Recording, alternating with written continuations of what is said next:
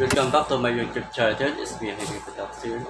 To this my vlog guys ay magluluto po tayo ngayon ng kakaibang recipe at ang gamit natin ay Coca-Cola at ang fresh chicken. Let's go guys at samahan niyo ako magluto sa kusina.